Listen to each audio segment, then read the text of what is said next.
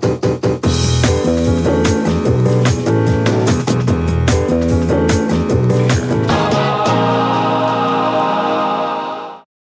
Прогуляться по залам музея в ночное время. Такая возможность предоставится саратовцам уже 17 числа.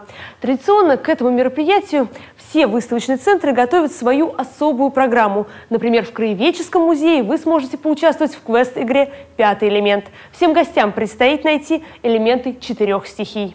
А в музее Чернышевского гостям предложат поучаствовать во флешмобе «Что делать?», научат носить аквагрим и позволят взглянуть на звездное небо через настоящий телескоп, а также подведут итоги конкурса «Чаепитие в моей семье». Об этом нам расскажет Елена Резаева, научный сотрудник музея. Елена, здравствуйте. Что же это был за конкурс?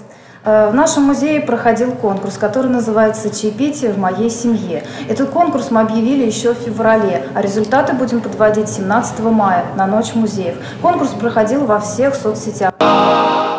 Прокатиться всей России можно будет в единый день велосипедных действий. 18 мая сотни саратовцев проедут по главным улицам города. Для участия в самой масштабной велопрогулке года приглашают всех желающих.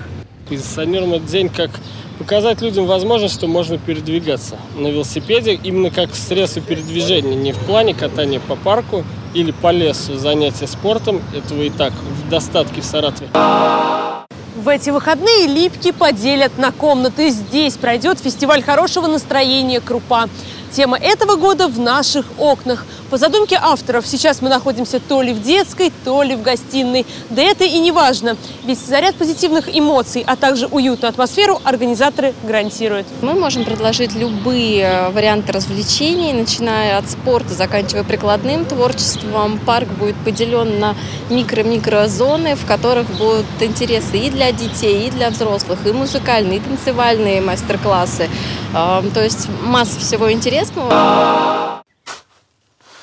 Ну а так как погода на выходные обещает быть жаркой, самое время отправиться на дачу поработать, ну или посмотреть, как это делают другие. Удачного отдыха!